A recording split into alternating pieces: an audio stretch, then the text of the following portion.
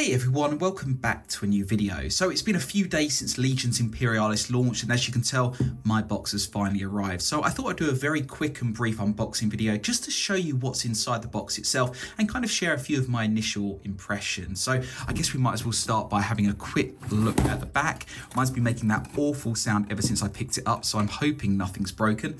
But you can tell from the box itself that there is an absolute ton of value here. I picked mine up from Alchemist Workshop for about £96 pounds uh, sterling here in the UK. But even at full RRP, wherever you happen to be, this box is an absolute steal. The Warhound Titans, in and of themselves, will set you back a hefty chunk of the box price.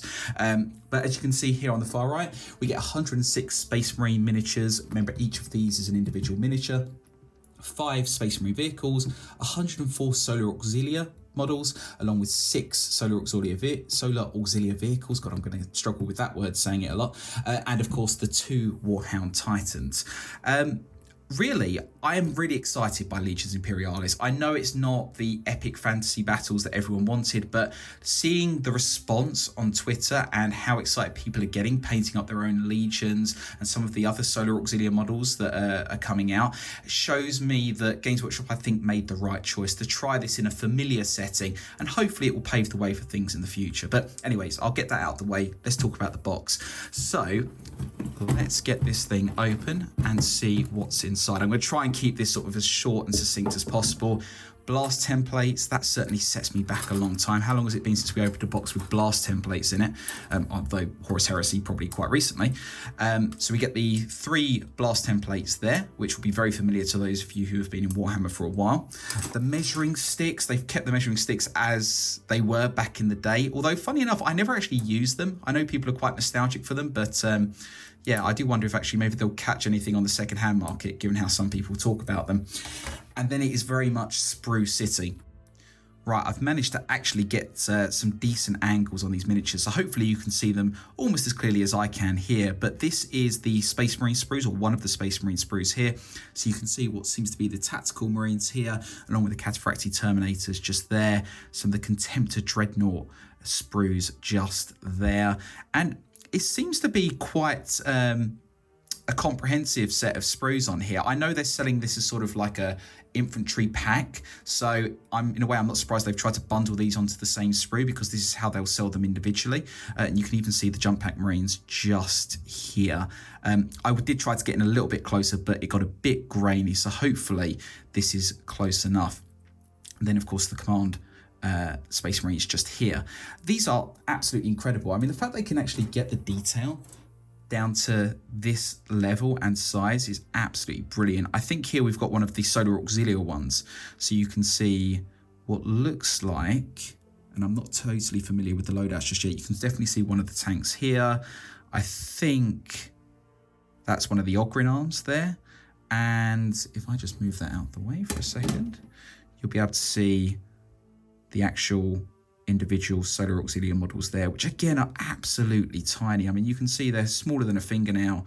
The amount of detail here is absolutely brilliant. And as I was saying, I think this bodes well for what could come in the future because if they can model on this scale and it proves as popular as it's seeming to be, I think there's a lot more they can do on the epic scale in the future, but uh, time will tell. Here we've got more of the Space Marines. I think this is exactly the same sprue as we saw earlier. Yes, it is. You've got the Contemptor up here, a few of the Cataphractii Terminators, the Command Sprue at the bottom, and then the Tactical Marines in the middle. So there's quite a few of them. I'm just going to bring the sprues back into play here and you can see this is one of the Warhound Titans. Now, one of the things I'm curious about with the Warhounds is whether they come with all of the weapon options. And it's not entirely clear from the box whether you do. Um, as you can see, one of the larger Solar Auxilia. No, that's not. That might be um, one of the Space Marine vehicles. It's always hard to tell when you see the sprues like this. I'm pretty sure it is. Um, yeah. But as you can as I was saying, sorry, um, this is one of the other Solar Auxilia sprues. Again, tons and tons of, well, models on these sprues, unsurprisingly, given the size, but a lot to play with. Um, I wanted to say if the Warhound Titans came with all of their weapon options because in the box you see the same set all the time and it's not entirely clear whether you get the options for all of the Warhound weapon options on the sprue. I think there's, I think the melter cannon, there's another one there. So, and it doesn't look like this is for two of them, although it might be because I can't see any other sprues in the box. Actually, that is about it. That is the only weapon sprue in the box. So, if anyone was looking to change the loadout, I'm not entirely sure it's going to work. Although maybe you can. Maybe you can be a better judge than I can at this sort of first glance, but that's what you get as the sole weapon sprue for the Warhound Titans. So it might be lacking in some departments, but it might be enough for what you're planning. Um, and then we get another set of the. That looks like the Predators, I think. Yep, those are the Predator sprues which is fantastic. Again, look how small some of these components are. I think you're going to really have a field day if you're into fine detail painting. But for me, I always find it a bit intimidating to think of the scale that I'm going to have to learn to paint at.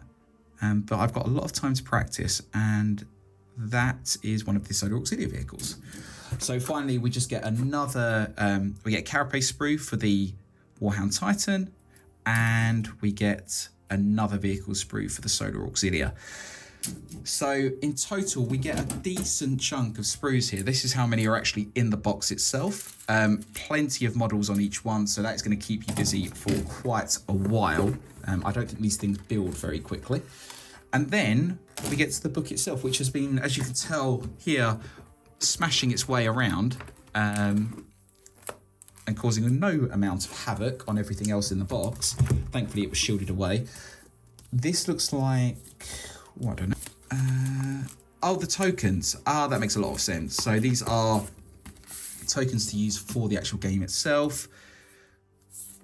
And then reference sheets. So yes, that makes sense why they separate them so that one, they wouldn't get damaged and two, they didn't presumably pop out. So you get your ref uh, your tokens there and two identical reference sheets and some sprue, uh, sprue, sorry, transfers. Plenty to work with there. Again, really fine, really small. Uh, that's going to take me a while to work on, but I think that's great that they've included it. Although, whether they've got enough for all the models, I'm not entirely sure. It depends on how fine you want to be and, and how extensive you want to be with your transfers. But um, you've got enough there for the bulk of the armies, no question. And then the instruction manual. Of course, the most important thing to me right now is how these models come together. And given that a lot of the models are so small, they come together almost as built models, you could say. But uh, it's going to be handy to see how some of these finer vehicles come together because you do not want to get it wrong uh, by any means. And I think that is everything in the box. I think there's just a oh, bases for the Warhound Titans. And that is everything. I think the only thing left to do actually is just to quickly show you a glimpse of the rule book. Um, hardback book, really good quality. And just kind of flicking through, this is exactly the same sort of quality as the Horus Heresy, exactly the same sort of font. So if you've picked up those core books and those expansion books before, you'll be very familiar with the sort of layout and the style.